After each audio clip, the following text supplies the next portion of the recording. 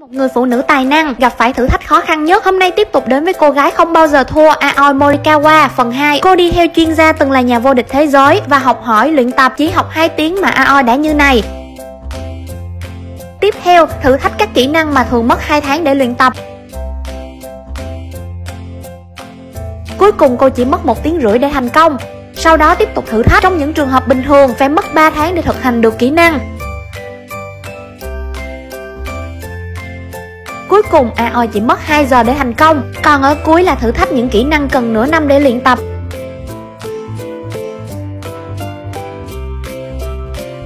AOI dùng cỡ 6 tiếng rưỡi để luyện tập.